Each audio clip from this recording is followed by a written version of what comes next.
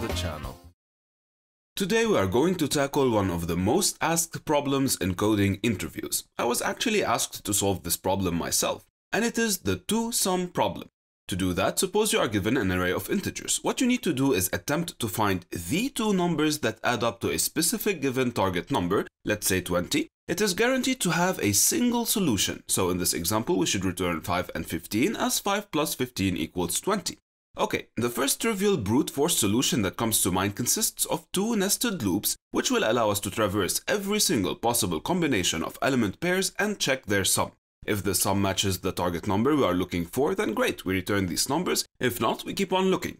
This solution is quadratic and surely isn't the optimal way to solve this problem, which is, by the way, what you should always strive to find in an interview. Now, if you recall, in our two pointers technique introductory video, we kind of solved a similar problem to this one, except in that video our array was sorted. As a reminder, suppose we have the same array but sorted, and we want to find the two elements that add up to target. If we were to use the two pointers technique, we will have two pointers, left and right. And every time the sum we obtain is smaller than the target, we increase the left pointer leading to an increase in the total sum. And every time the sum is bigger than the target, we decrease the right one, leading to a decrease in the total sum up until we find the elements we are looking for and return them. Okay, great, we already covered that. But here our array is not sorted. So how does this help us? Well, sorting an array has an O of n log n time complexity, which is better than the quadratic solution we just wrote. So even if we manually sort the array and then make use of the two-pointer technique we just saw, we will still obtain a better algorithm in terms of complexity than the brute force one. Now what if I told you that we can still do better? What if I told you that there exists a linear solution to this problem? How do we even come up with such a solution? Well, the first hint you can think of is in my question itself. I just told you that the solution I am looking for is linear, and to write a linear solution given an array, the only choice you have is to loop over that array once, right? The second hint lies at the core of every algorithm you will write in your life, time and space trade-off. We want to reduce the time complexity of this algorithm to its maximum, which means that maybe we will have to make use of some sort of data structure to store values, thus increasing my space complexity. So we are at this point where we know that we will need a way to store some data and that we will make use of only one loop. But what are we going to store? Well, it is safe to start with what the response will actually be. In this case, we are returning integer values, so let's start by storing integers in a list. Okay, the last part is figuring out how all of this is going to play out, what we are actually going to write inside this loop.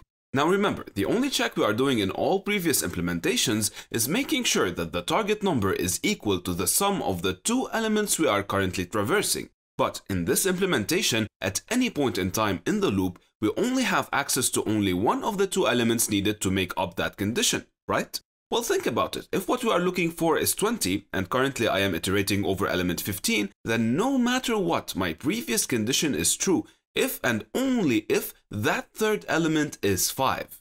You see 5 is the only solution to this equation, or in other terms, the equation is solved if 5 is present in the array. So if every time I traverse an element I insert it into this list, then my condition will only have to check if the target minus the current element is present in that list as well. Or in other terms, we will check if there exists an element in the array such that the current element we are standing at satisfies our sole condition. Okay, our current implementation is concise, but is still quadratic because the contains check is linear in time. However, and as we saw in previous videos, if we make use of a set instead of a list, this search will be done in constant time, making our overall complexity linear in time. And there you have it, the linear solution for the two-sum problem. Now, if you check the LeetCode problems linked in the description, you will notice that they're not exactly like what we just solved. LeetCode asks us to return the indices of the two-sum numbers instead of their actual values. How does this affect us? Well, that's what we'll cover in the last section of this video.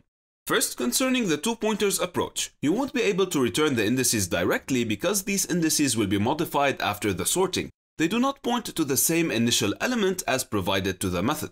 This can be solved in many ways, one of them being maps. So, before sorting the array, we will have to store the element index pairs in a map. And after finding the solution, we use this map to retrieve the initial indices and return them to the user. However, this exact solution only works if no duplicates are present in the array. If you have duplicates like LeetCode has, a lot of test cases will fail. Now, concerning the last approach we wrote, we also do not have the index of the value we are retrieving from the set. So how are we going to return it? Well, to tackle this problem as given on LeetCode, what you need to do is make use of a map instead of a set. The keys of this map will store the same data we were sorting in the set and will be used to make the same checks. However, the value corresponding to each key will be its initial index in the array provided to the method. Then, when a solution is found, this index is retrieved and returned. Okay, after you solve this, the interviewer might scale up the question and ask you to find the three elements that sum to a given target value. And this problem is called the 3-sum problem and will be the subject of the next video of this series, so stay tuned. That's it for this video. I hope it was helpful. Thank you guys for watching. Take care and I will see you in the next one.